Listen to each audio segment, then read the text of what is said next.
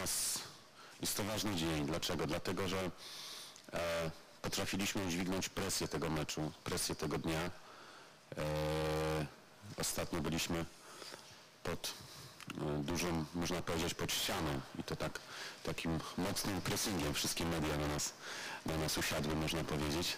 Także czuliśmy tę presję, drużyna to czuła i cieszę się, że potrafiła wyjść obronną ręką, że jako drużyna potrafiliśmy sobie z tym poradzić.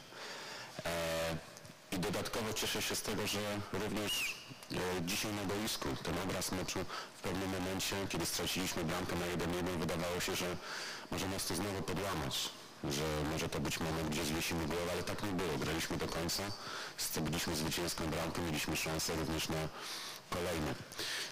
E, Sam mecz oceniam jako e, spotkanie dwóch bardzo wyrównanych drużyn, dwóch drużyn, które e, świetnie się znają przede wszystkim. Myślę, że taktycznie obydwie drużyny były dobrze ustawione i, i, i z, dlatego ten mecz wyglądał tak jak wygląda. Było niezwykle ciężko znaleźć jakąś lukę w obronie Polonii. To my prowadziliśmy grę, to my byliśmy częściej przy piłce, to my mieliśmy inicjatywę, ale nie przekładało się to na jakąś dużą liczbę e, sytuacji podbramkowych.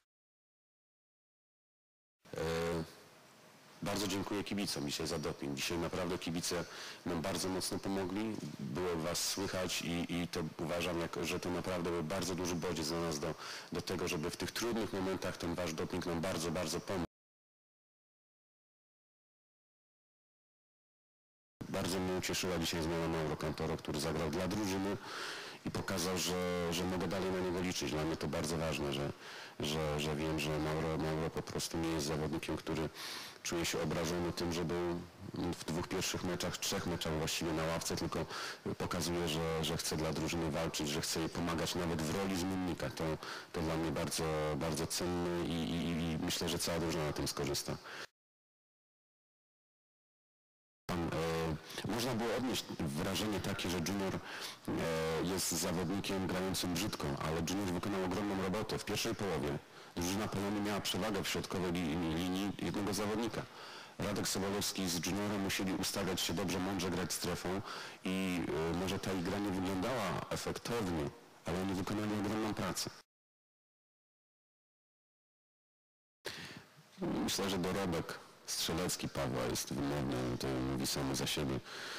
Jest to zawodnik, który zdobył 14 bramek z 31, które zdobyliśmy, czyli można powiedzieć mniej więcej to jest połowa naszych zdobyczy bramkowych, także yy, trudno sobie wyobrazić tak naprawdę w tej chwili Wisłę Kraków bez Pana Obrożka.